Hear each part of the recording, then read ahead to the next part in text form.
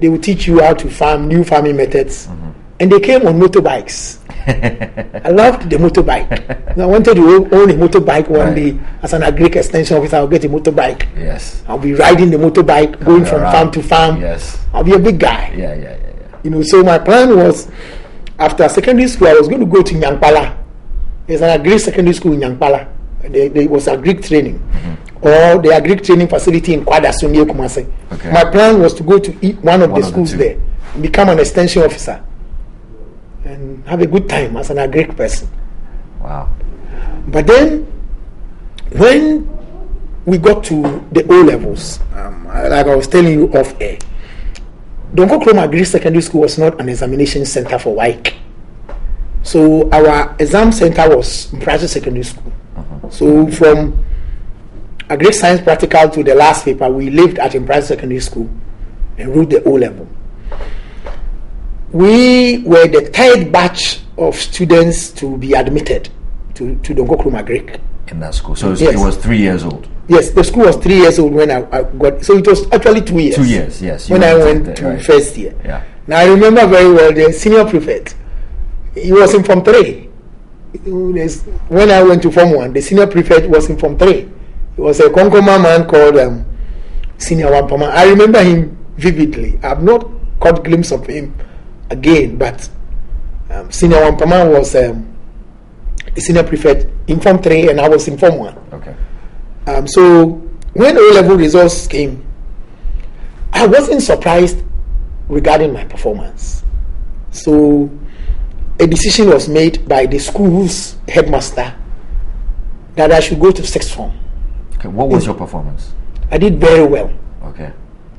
In fact, I did so well that the record I set was not broken until the O level system was scrapped. Wow. And that was when I was going to school. So yes. So, so I did, I did very, very well. well. Yeah. very well. So the the, the the headmaster said no. There's no way with this kind of results you will end up in Nyankpala. So you have to go to sixth form. Right. The thing that happened was that I didn't have enough subjects to do sixth form. So it meant that I had to do certain subjects unknown Okay. if I had to do sixth form. So I went to Apam Secondary School. Now, when I went to Apam Secondary School, I needed a third subject to add to general paper.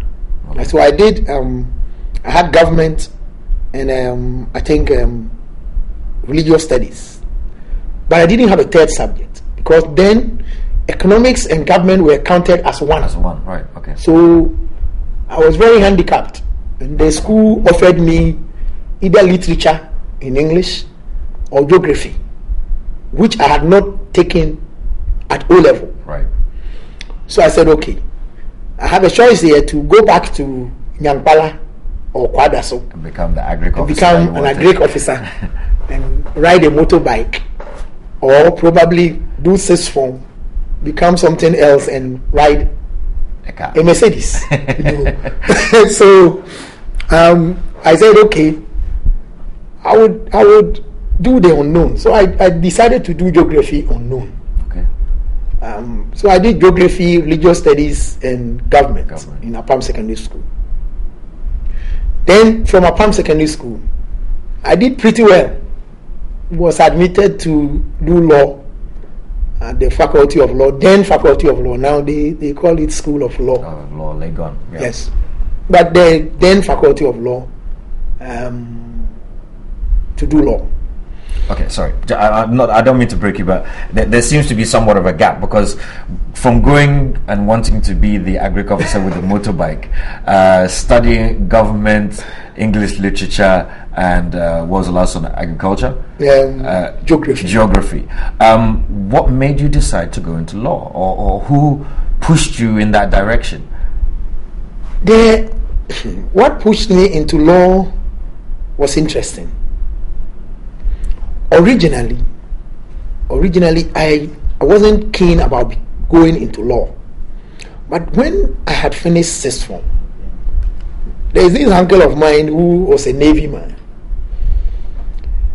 He promised to get me into the military.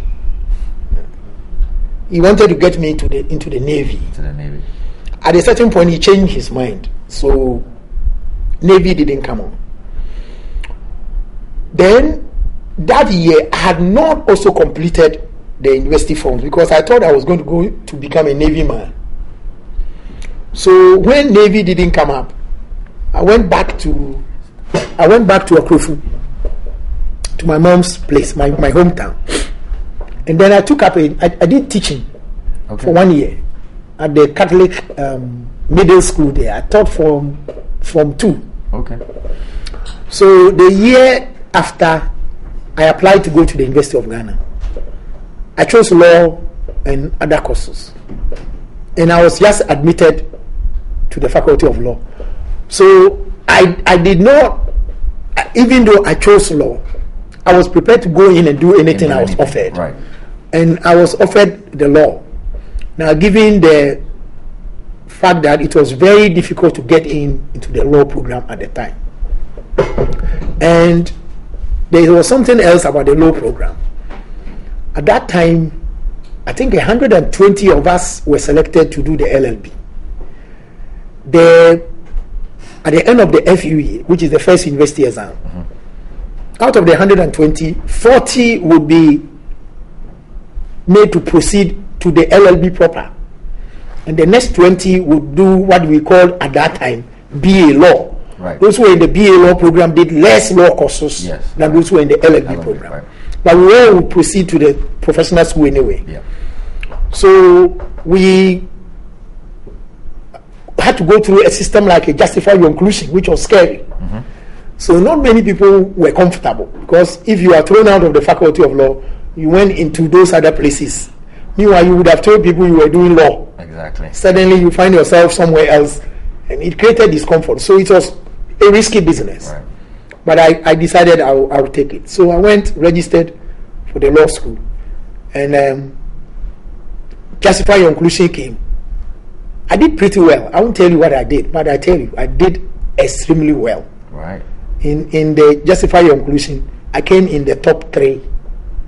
In fact, I would say I came in the top two. Wow. In, in the justify your inclusion uh, for the LLB selection. So I realized um, between myself and doing good academically would be only myself. Right. You were so, the only obstacle. Exactly. Okay. So I decided I'll work hard. Now, there was at that time something very interesting about um, the Faculty of Law. The dean was at that time Professor Ofosu-Amaah.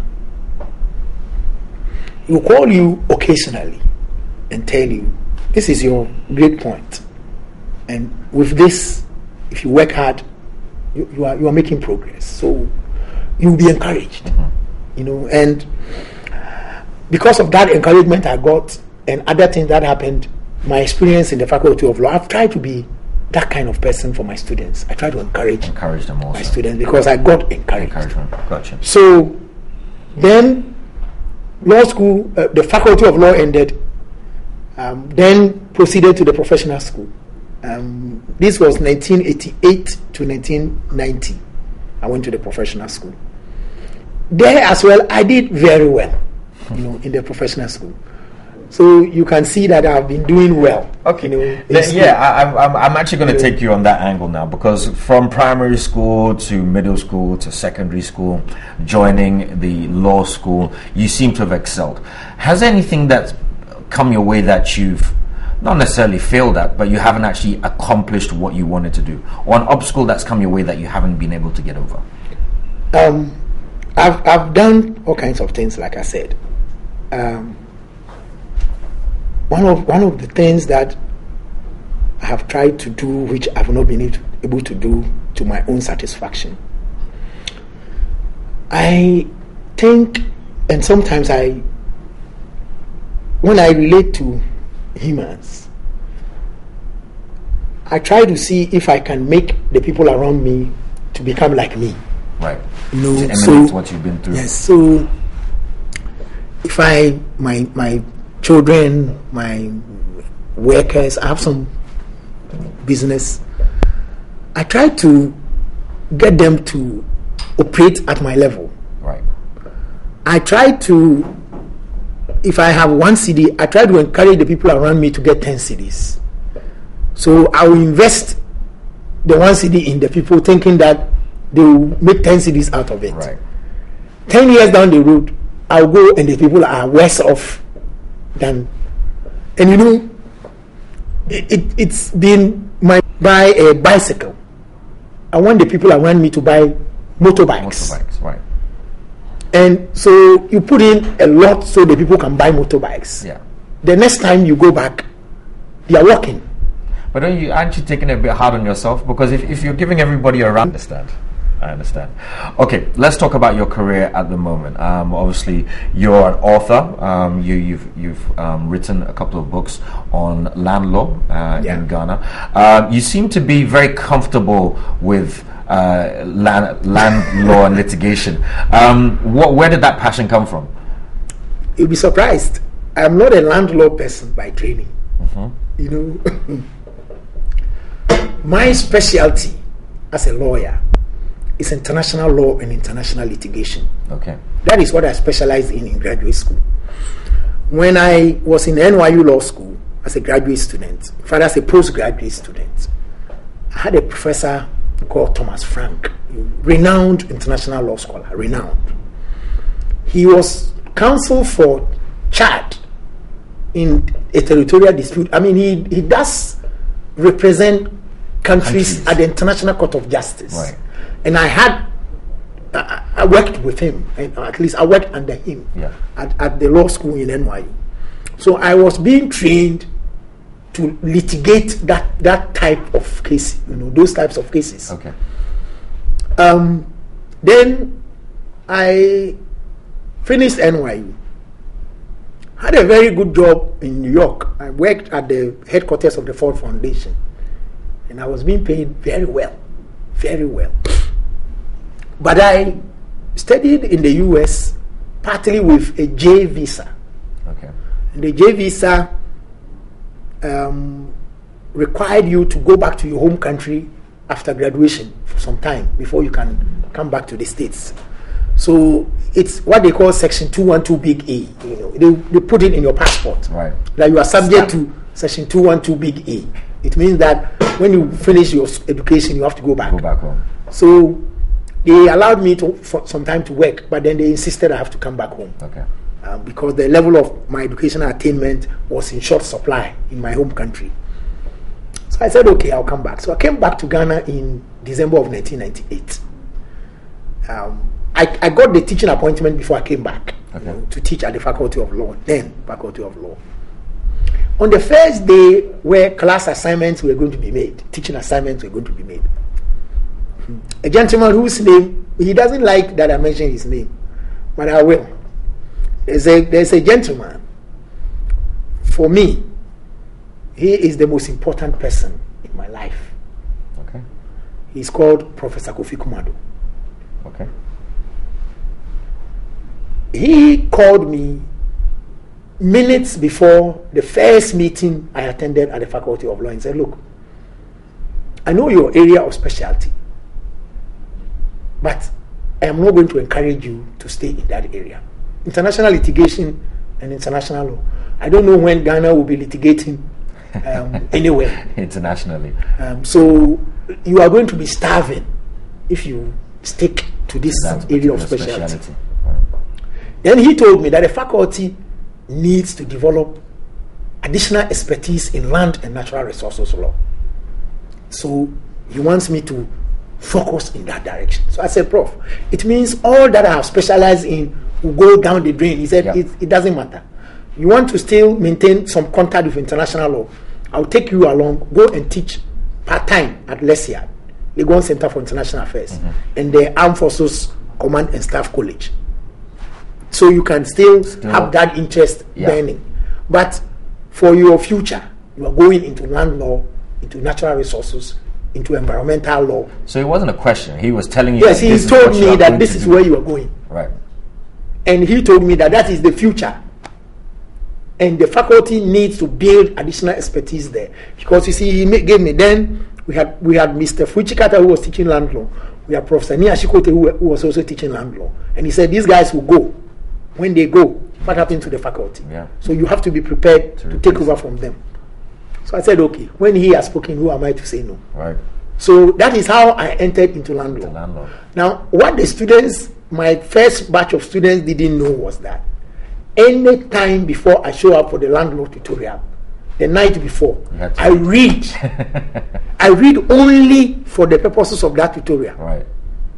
And I did this for about a year and a half to two years and got myself back into land law mode because I didn't study land law in graduate school. Yeah. So you're more or The, the land law I have is the land law I got from Fui Tsikata, who taught me land law in the Faculty of Law. Wow. Beyond that, I have not studied land law anywhere. Wow. That's amazing. Okay, now we're going to continue with the law, but not necessarily your specialty. I want to know about your first day in court. How was it? What was the case? Did you win? Did you lose? Were you nervous? I'll tell you about my first day in court. It was a very tough day.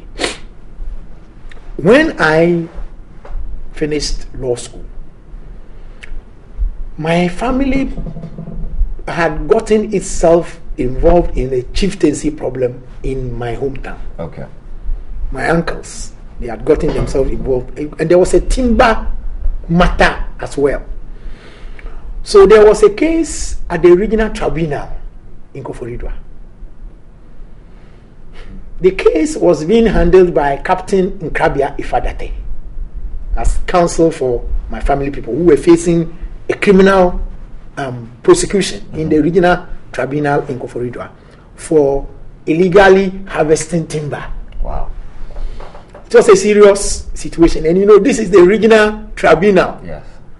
And the, the chairperson of the regional tribunal, the chairman, subsequently became a high court judge. I think he has retired. Yasi Japatu, great judge. Great judge. Sitting at Koforidua. Then Captain Effah-Dartey said, Now that you have been called to the bar, take over the case. And my people, this is my family. My uncles were involved as accused persons. And this is the case that I've been asked to take over fresh from law school. school. So I said, okay, this is this is a family a, a family matter. Very I have to say the head of the family. Yeah. So I, I, I, I studied the evidence and I realized there was an escape route for us. Um, the gentleman who owned the timber concession, which had been, I, I mean, not transferred. Technically, yes, he, he tried to transfer it. But you see, you cannot tran- transfer timber harvesting rights without the consent in writing of the minister Right. and he didn't have that and that was the basis of the charge The charge. but he had not given them a document saying he had transferred the concession Okay. he had gone into a gentleman's arrangement with them and they were harvesting um, timber, Timber. in the concession but what i realized he had done was that he gave them a power of attorney which said that he, they could do things in the concession as if They were him. yes so they were like his agents Yes. So I realized we could use that. You know. So in the end, I was able to use that power of attorney, and you'll be surprised. Those guys, I got them out because you see, in a criminal matter, the burden is on the prosecution to prove the guilt of the accused persons Yeah. beyond reasonable doubt. And after the case came to an end, the judge concluded that the prosecution hadn't proven its case beyond reasonable doubt. And you know that was my first case. I won. And you won. For your family. people got out. Yes. That was a high stakes case for you Yeah. then. Because it could have turned either way. then they would have said, and you know, All the schooling was for nothing. you know, and then they would have been very disappointed Yeah. because you know, in the law school, I won the Mensah Sarbah Award for the best student in the graduating class, Congratulations. and you'll be surprised. The day after the call, when I was going back to the village, eh, the village, the chief, and the people met me at the outskirts of the town, drumming and dancing to welcome me back home. You know, as the, the son of the soil who had done Yes, that. yes, yes. Well So it, it, it was impossible for me to have lost that case. Very It true. should have been disastrous. Yeah. First case, your family are going to jail. in your hands. After they give you that warm welcome. Exactly. Uh, a lot of pressure. Um, okay, let's step slightly away from uh, the law. Um, you're a businessman also, apart from an author. What else do you do besides uh, besides teach and Um, lecture in law?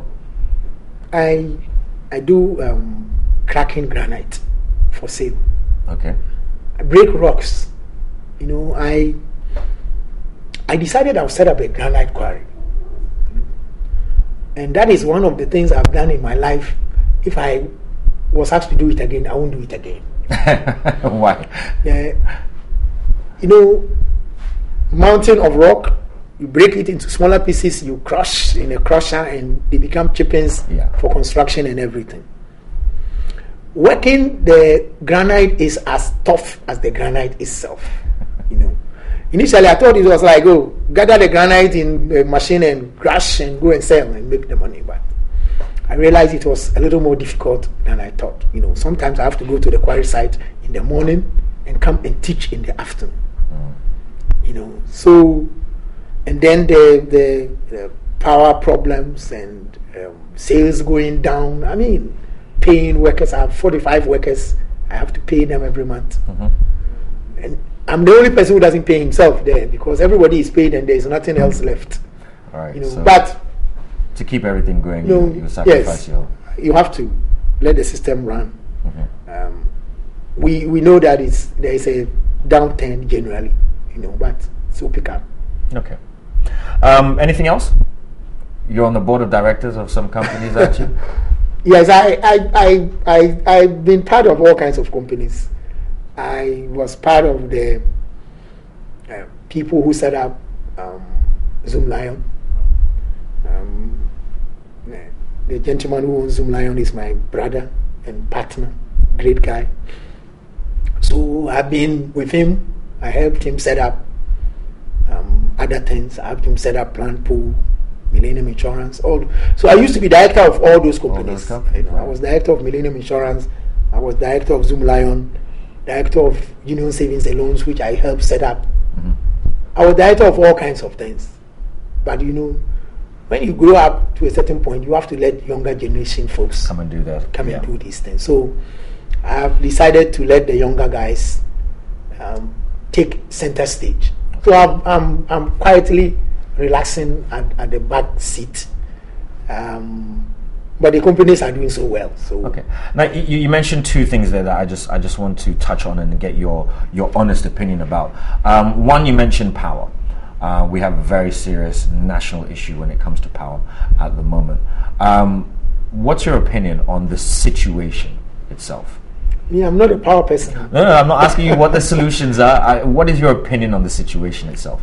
I mean, Like, you okay. you having grown up in Ghana, gone abroad and done law school, come back to Ghana, seeing what Ghana has been like, and then seeing Ghana right now. Are you happy? Um, not too happy. I think Ghana could do better than this. Um, the, the the problem is we Ghanaians generally we are not able to look at the situation and confront the situation as we have to confront the situation. Right. we tend to not gather around an issue and solve it. So, for example, I don't believe there are any bunch of Ghanaians who don't accept that we are having a challenge in the power in the power sector. I think what we have not been able to do collectively is to find a solution to it collectively. Right. A long-term solution. Exactly. So far as we are seeing it, like it is the problem of those who are in governance. Then those who are in governance would solve it ad hoc, only for somebody else to come tomorrow and deal with it again. Ad hoc. You know exactly. you know. So I thought, I thought maybe what we should do is to try be, to build a national consensus on it. I have this sense that there are certain matters like taxes, um, economic direction generally, political direction. These matters, you need national consensus on them. Right. So that whoever is in the Flagstaff House wouldn't have a challenge as to the direction of the economy. Right.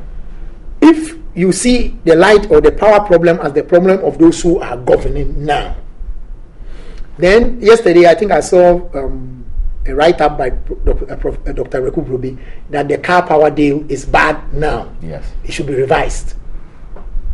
Now, matters like this, we should build a national consensus around so that whoever comes to power tomorrow will know that we agreed as a people this is what we are going to do. And it should be continued. Exactly. But the way we do it, um, I, I don't think we'll get anywhere. And I'll give you an example.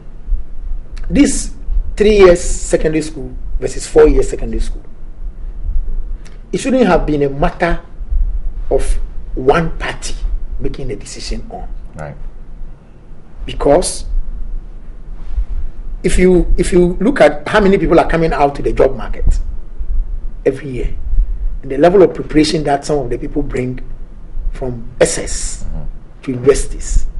Eh, I, I have had two children who have gone through SS to the universities.